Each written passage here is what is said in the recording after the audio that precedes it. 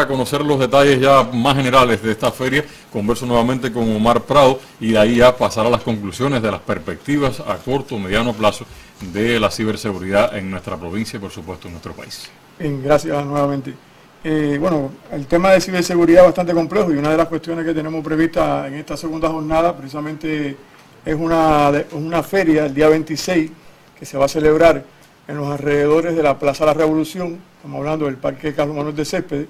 donde va a participar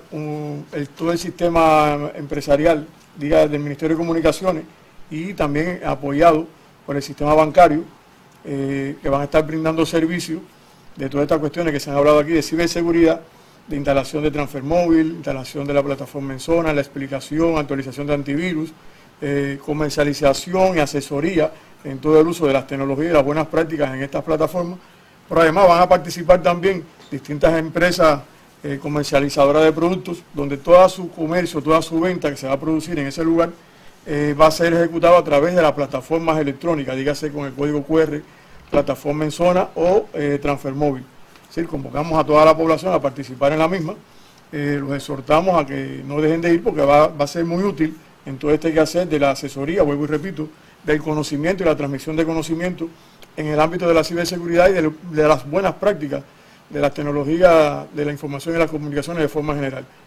la apertura va a ser oficialmente a las 9 de la mañana, reitero la fecha, domingo 26 del presente mes. Correcto. Háblenos entonces para ir cerrando ya el tema, Omar, acerca de las perspectivas que tiene la, ciberseguridad en, nuestra provincia, toda vez que todavía quedan muchas vulnerabilidades, lo hemos estado diciendo, y queda todavía mucha más percepción de riesgo por parte de nuestra población y las entidades estatales. Sí, como no, la perspectiva es, bastante amplia e infinita, diría yo, en el, en el ámbito de la ciberseguridad.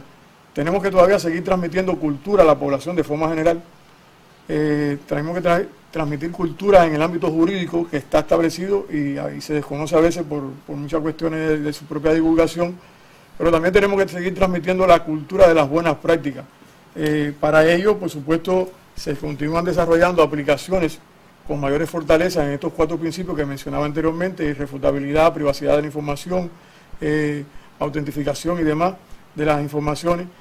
Estas aplicaciones de desarrollo muy fuertes en el ámbito empresarial sobre todo, están siendo desarrolladas por CETI, aunque le esté haciendo marketing a, a CETI, es así, eh, y DESO, dos empresas eh, presentes en, la provincia, desarrolladoras de aplicaciones de la gestión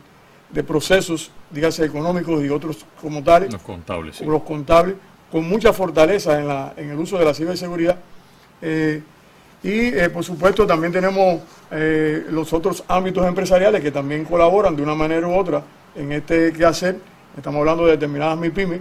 que también se ven implicadas en el uso de las tecnologías y en el desarrollo de las aplicaciones tecnológicas que también están siendo desarrolladas en la provincia y a nivel de país.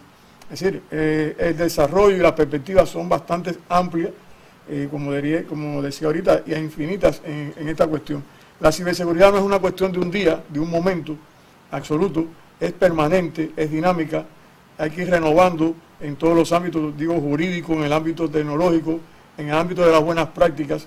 porque como mismo se va desarrollando la tecnología y vamos haciendo uso y dependencia de esta tecnología, se va desarrollando el quehacer delictivo de personas inescrupulosas que también están interconectadas a las mismas redes que estamos conectados nosotros. ¿Cómo llamarle ciberdelitos? Los ciberdelitos tipificados como tal en, en el Código Penal a nivel nacional y a nivel internacional. Consejo final entonces para el pueblo gramense que está ahora viéndonos en perspectivas, toda vez que sabemos que, tenemos en nuestras manos una herramienta muy útil que es el, móvil con, los datos eh, de Internet, pero a la misma vez puede ser un arma de doble filo. Primera cuestión, instruirse, instruirse en las buenas prácticas, eh, buscar información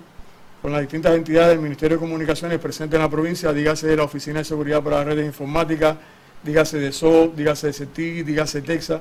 buscar información en la, gestión de las buenas prácticas de forma general, eh, estudiar, eh, no dejarse llevar por las, como decíamos ahorita, por las cuestiones de la ingeniería social, que son muy amplias. Cuando digo ingeniería social, abarca muchos quehaceres, como el phishing, como decía ahorita el compañero Eduardo, las cadenas, de, información que se publicitan, publicitar información personal innecesariamente en las redes, comunicar o transmitir información personal a personas desconocidas. Es decir, eh, de forma general, eh, estudiar, actualizarse en las buenas prácticas, en las normas jurídicas para no eh, lamentar después verse involucrado en un, proceso jurídico, en un momento penoso como tal. Eso tanto en el ámbito empresarial como en el ámbito social, natural, de las personas naturales. Es el consejo y la, la, que se le transmite a la población de Granma y por supuesto tener presente siempre el uso seguro de la de las redes sociales y de todas las tecnologías de forma general. Muchas gracias Omar, también a Eduardo, a Iber, a Dalier y también a Jordanka que nos han acompañado gentilmente en esta tarde para debatir un tema que tiene muchas aristas y que nosotros somos los principales responsables de que se cumplan esas normas que ya están establecidas, pero en nuestras manos está la ciberseguridad también desde cualquier espacio. Gracias por la preferencia.